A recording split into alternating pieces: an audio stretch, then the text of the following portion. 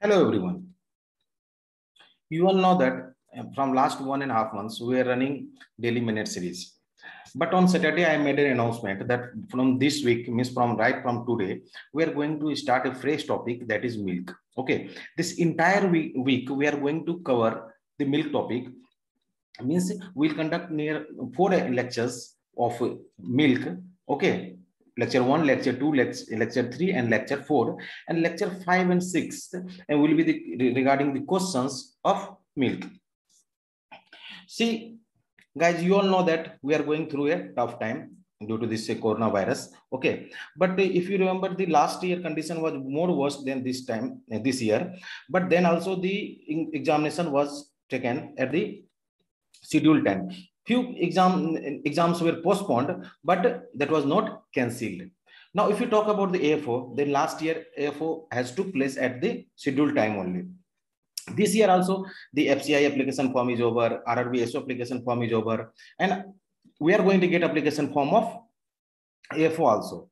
So guys without wasting the time or without thinking whether the examinations will be postponed or cancelled what will be the possible number of vacancy you all have need not to think all these things. Just to focus on the study okay? And during this time also we'll try our best to give you all the things that is required for the examinations okay?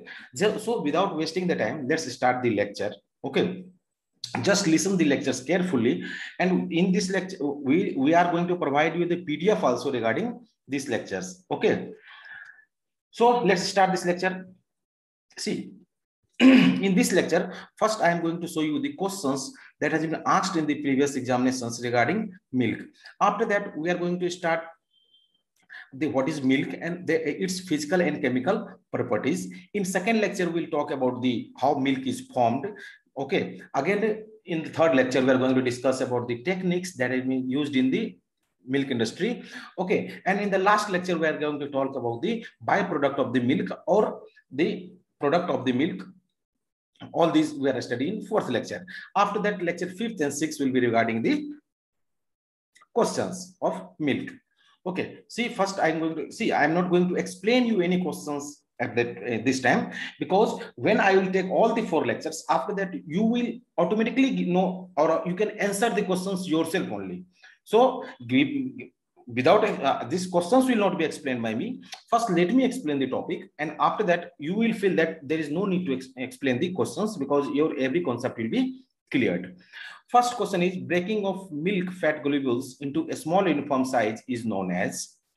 Second is solid not fat in cow milk as per the standards of food adulteration third rs test is done to check the purity percentage of which milk product Again, the secretion of milk by the glandular secretory tissue of milk animals and their the collection in the various duct system terminating in the letdown when subjected to a specific stimuli. Which type of emulsion is found in milk? Which element is responsible for yellow color of milk? Which hormone is responsible for milk letdown? What is the SNF content of recombined toned milk? Yellow color of cow milk is due to why is buffalo milk not yellowish in color? What is the milk availability per capita to, according to 2017-18? Bacteria is removed from the milk by using centrifugal action force is called SNF in cow milk. Amount of blood passing through udder for one milk of uh, one ml of milk. Okay. After that, see in this questions near about 20 to 25 percent questions answers you can know by the end of today's lecture only.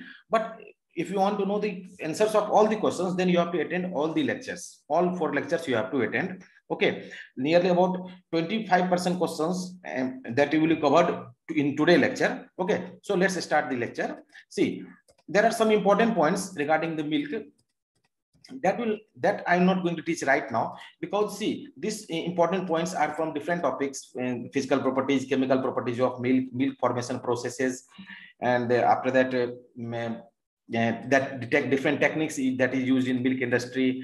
After that uh, about the products of the milk and byproduct of milk that's uh, that from different topics this uh, important points has been taken. So this I, I will explain at the end of fourth lecture Today, we are we'll discuss only about the milk and milk chemical and physical properties.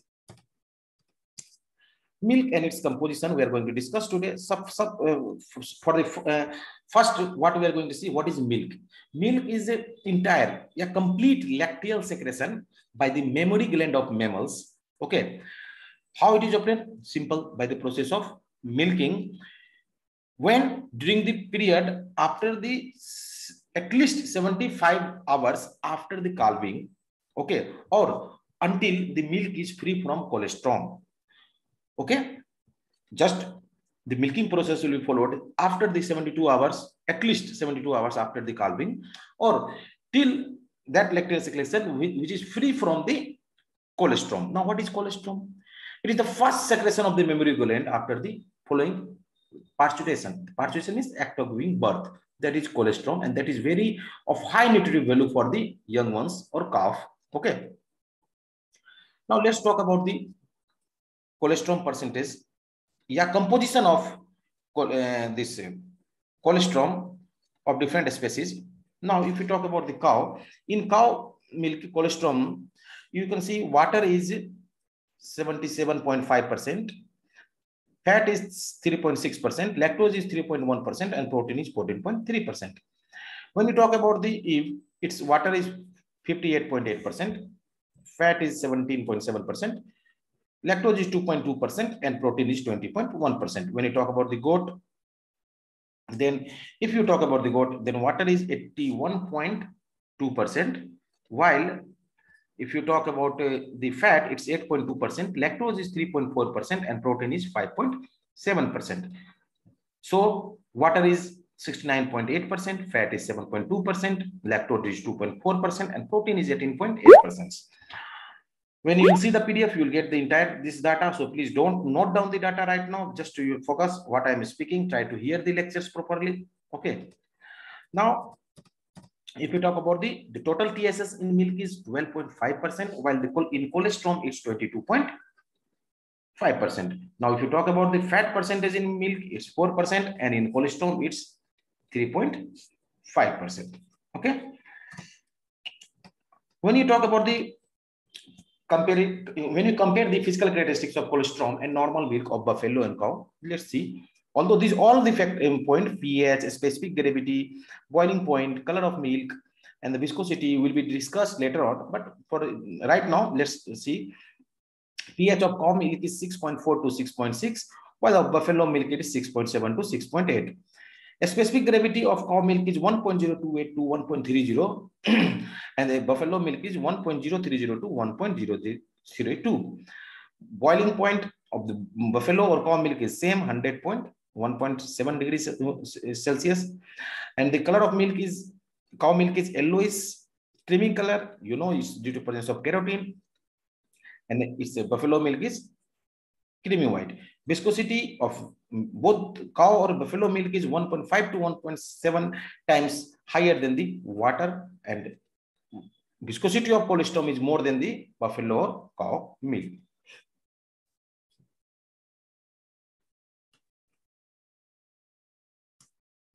From these topics, questions are repeatedly asked in the examination. So you please, uh, by heart, you have to remember these things. Okay, that when you talk about the cow fat percentage in cow is three, cow milk is 3.5 percent. In buffalo milk, it is 5 percent. In, in goat and sheep, it is 3 percent. Standardized milk, it's 4.5 percent. Recombined milk is 3 percent. Toned milk, it's 3 percent. Double toned milk is 1.5 percent, and skim milk, it's 0.5%. When you talk about the SNF, means solid not fat, in cow it's 8.5%, buffalo it's 9%, goat and sheep it's 9%, standardized milk it's 8.5%, the combined milk it's 8.5%, toned milk it's 8.5%, double toned milk it's 9%, and skim milk it's 8.7%. See, this is also will be also explained later on. Fat is present in the form of fat globules, which is oil in water type emulsion form, while if you talk about, see, the different type of milks, full cream milk, toned milk, double toned milk, okay, standardized milk, you can see it. After that, before talking about the fat, lactose, protein, and this uh, um, the uh, precursors of milk. Let's talk about some more about the milk, or you, I want to explain some terminology that maybe or that is beneficial to understand the, this topic. Let's start with one by one. First is surface tension. Surface, when you talk about the surface tension, what is surface tension? See, surface tension, eh, this is the tension of the surface film of a liquid. This is caused by the attraction of particles in the surface layer.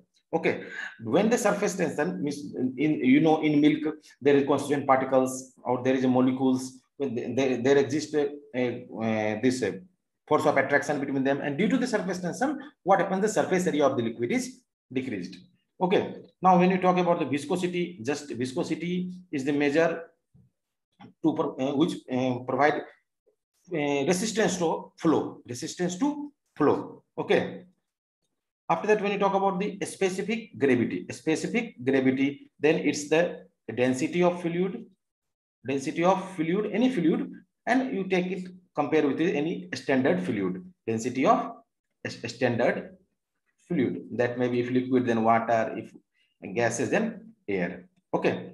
Now, if you talk about the, huh, see, buffer. What is buffer? Milk generally act as a buffer solution because buffer is a solution that buffer what it does it resists the pH change pH change. If sometimes there is addition of acid or acidic or basic component then it, it tries to neutralize the amount of acid or um, bases that has been added in that constitution.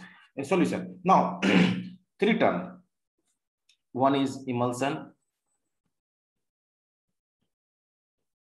Second is solution. And third is suspension. Just you have seen emulsion.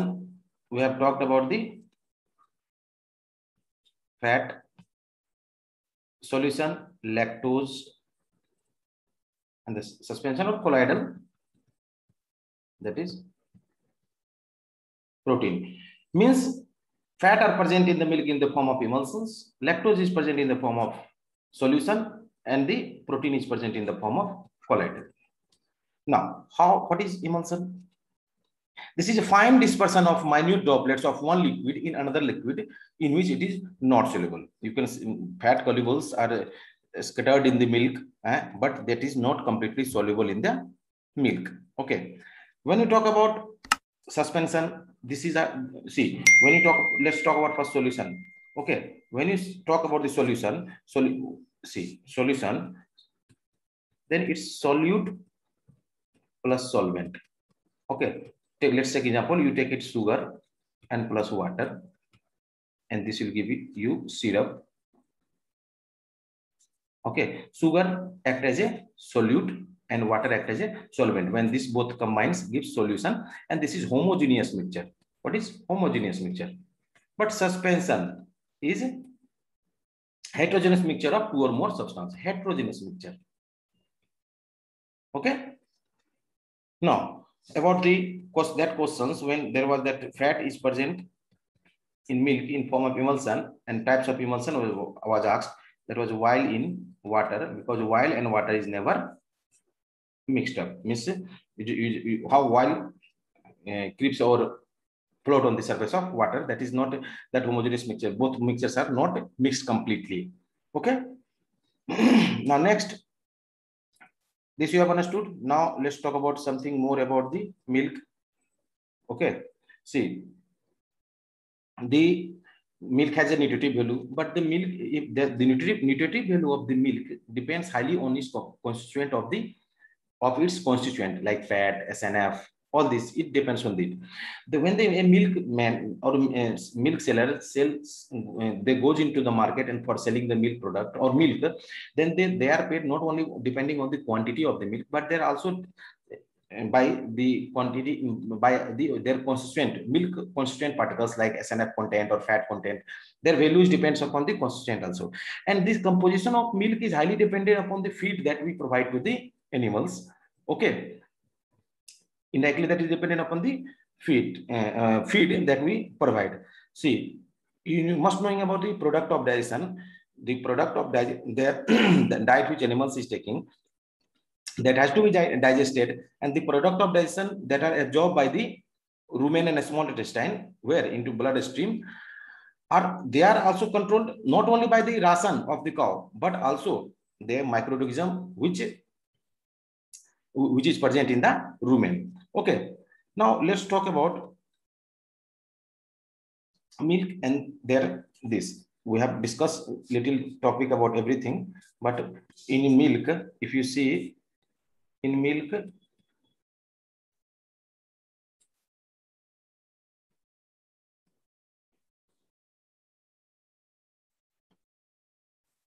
there is water. After that solid uh, in water after that ts means total solid. Now if you talk about the total solid then it's a fat and after that solid not fat. When you talk about the fat then there are two types of fat. One is true fat and one is associated. In true fat we talk about cholesterol carotene okay uh, phospholipid or and so in in a true uh, true fat we'll talk about the uh, that uh, uh, several fatty glycerides but when you talk about the associated substances then that will be cholesterol carotene yeah vitamin a d e k phospholipid all these. But when you talk about the solid not fat then in that lactose yeah nitrogenous substances mineral matter all these comes. When you talk about the nitrogenous substances then nitrogenous substance means protein or non-protein. When you talk about the protein, casein, lactoglobulin, all these are present in uh, where as a solid, not fat. Okay. After that, let's see about talk about the precursors of the milk, which we have discussed in brief. Let's see protein. Milk is made up of number of specific protein, but casein is being most important uh, component. And this is response.